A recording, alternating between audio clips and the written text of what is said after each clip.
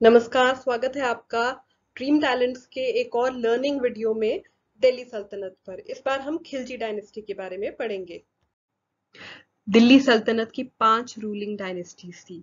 Slave dynasty Khilji dynasty Tughlaq dynasty Sayyid dynasty और Lodhi dynasty slave dynasty पर जो video बना है, उसका लिंक डिस्क्रिप्शन बॉक्स में है। खिलजी डायनेस्टी की नींव जलालुद्दीन खिलजी ने रखी थी। जो कि स्लेव डायनेस्टी पे एक अच्छे पद पे थे। और क्योंकि स्लेव डायनेस्टी में आगे कोई भी अच्छा शासक नहीं था, उन्हें यह शासन मिल गया। अब, जब वो राज कर रहे थे, अलाउद्दीन खिलजी, जो कि उनके जवाई थे और उनके नेफ्यू भी थे, उनके साथ मिलके इन्होंने देवगिरी पे आक्रमण कर दिया। इन्होंने अपनी बेटी की शादी उल्ग खान से करी, जो कि चंगेज खान के डिसेंडेंट थे। अलाउद्दीन खिलजी। अलाउद्दीन खिलजी एक बहुत ही क्रूर शासक माने जाते थे। इन्होंने बारह से लेकर 1316 तक राज किया था। अपने ससुर जलालुद्दीन खिलजी को मारकर वो इस गद्दी पर बैठे थे। किसी को भी मारने से वो घबराते नहीं थे, चाहे वो अपना कोई रिलेटिव हो फैमिली मेंबर हो, अपना ही कोई बंदा हो, उसको वो मारने से घबराते नहीं थे। जो भी उनकी बगावत करता था, उन्हें वो मार डालते थे। और चाहे वो उनकी अपने बच्चे क्यों ना हो वाइफ कोई भी हो, उनको पनिशमेंट देने से घबराते नहीं थी। किसी बहुत ही हार्श पनिशमेंट्स होती थी उनकी। उन्होंने गुजरात को कैप्चर करके उन, वहाँ के राजा की वाइफ कमला देवी से विवाह किया। फिर चित्तौर की बारी आई। अब रानी पद्मावती, इसके बारे में तो सब जानते हैं, इस पे मूवी बनी है पद्मावत। उन्होंने रानी पद्मावती पे उनका दिल आ गया था, वो उन्हें उनसे शादी करना चाहते थे।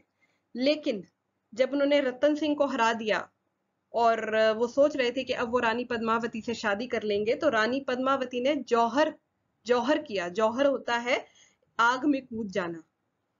एक राजपूती आन बचाए रखने के लिए उन्होंने जौहर कमिट किया।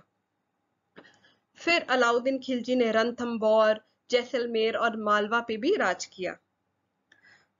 कुतुब मीनार में एक अलाई दरवाज़ा है, जो कि अलाउद्दीन खिलजी ने बनाया है। ये भी काफ़ी बार पूछा जाता है कि अलाय दरवाज़ा, जो कि कुतुब मीनार में है किसने बनवाया है? ये अलाउद्दीन खिलजी ने बनवाया है।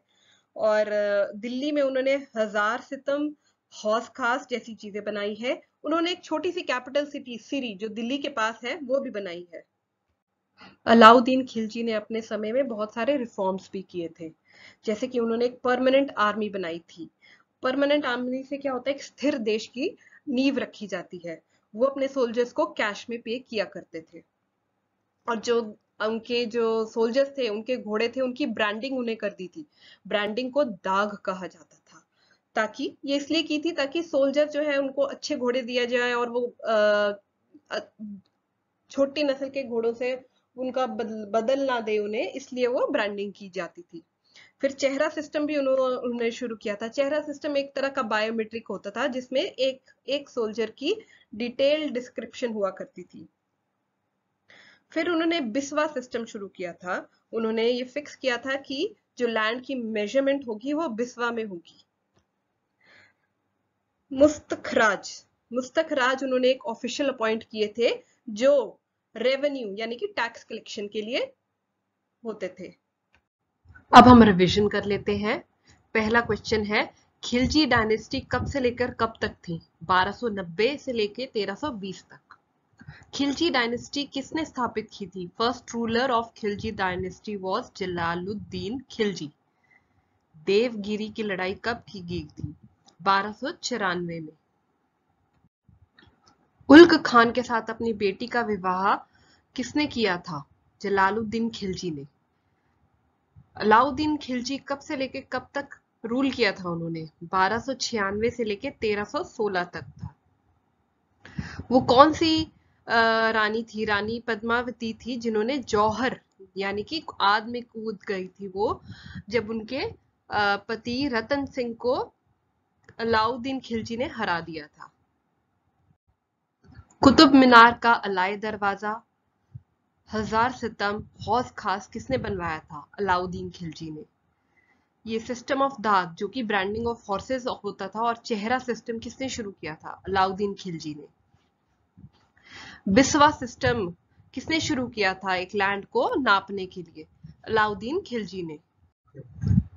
धन्यवाद। उम्मीद है आपको ये वीडियो पसंद आया होगा। अगर पसंद आया तो इसे लाइक करें शेयर करें और सब्सक्राइब करें।